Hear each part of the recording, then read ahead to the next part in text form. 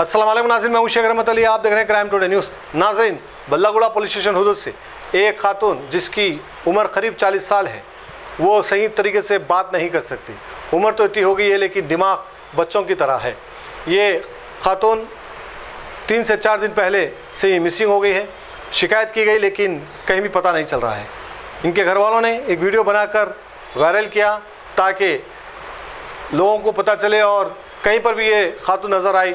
तो इस पर इतला दे या फिर खरीबी पुलिस स्टेशन या बल्लागुड़ा पुलिस स्टेशन को इतला दे, ताकि ये जो खातून है, जो मिसिंग हुई है, वो अपने घर वालों को मिल जाए। शेख शफी की ये रिपोर्ट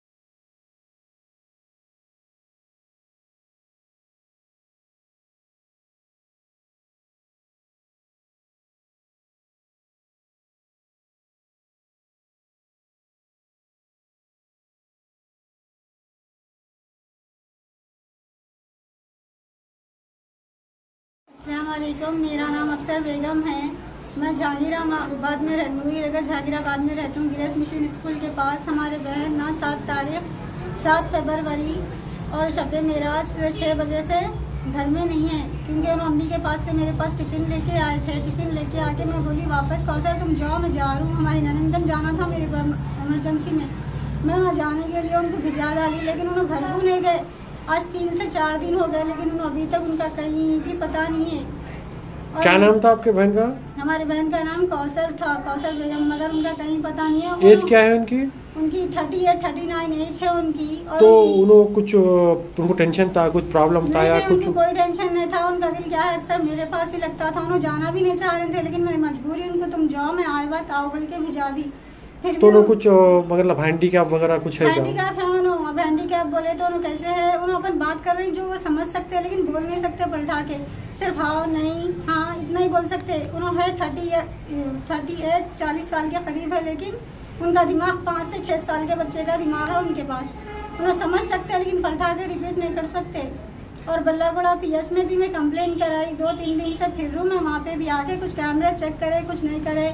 फिर वो अज़ीज़ कुछ इंस्पेक्टर का नाम है, उन्होंने आके चेक करे कैमरा फिर कोई महबूब ऐसा ही है, उनके हाथ में ये फ़ाइल गई, उसके बाद महबूब कोई है, उनके पास चले गई। उनके पास मैं फिर जाके मालूम करी तो उन्होंने वज़ीर साहब मिले मिकू उन्होंने बोले, मेरे हाथ में नहीं है ये महबूब साहब से मिलके बात करो। उन्होंने बोले, कल नाइट ड्यूटी करे थे, आज उन्होंने छुट्टी पे है, कल सुबह आते उसके बाद हम लोग को ही ढूंढो बोले उन्होंने आप लोग अभी ढूंढो मैं भी पोस्टर वो लगाता हूँ। इतना ही बोल के हम लोग को भिजा डाले जब से हम लोग इतना फिर रहे हैं इतना फिर रहे हैं मैं और हमारे शोहर इतनी कोशिश कर रहे हैं हर जगह उनको देख लिए कोई जगह बाकी नहीं बची।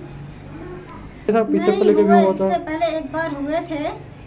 वो चंदन गुट्टा पी जो था ना वहाँ मिल गया था वहाँ पे उनको कोई ला के बिठाए तो वहाँ पे मिल गए थे ला के बिठा दिए तो बुलाए थे हम लोग को।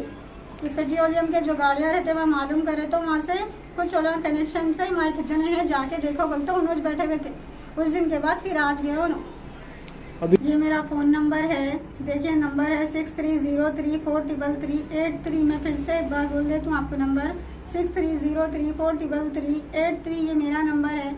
अगर आप लोगों को किसी को भी किसी को भी भाई बहन किसी को भी अगर ये नज़र आए या मालूम हुआ तो प्लीज़ मेहरबानी आप लोगों की सबसे।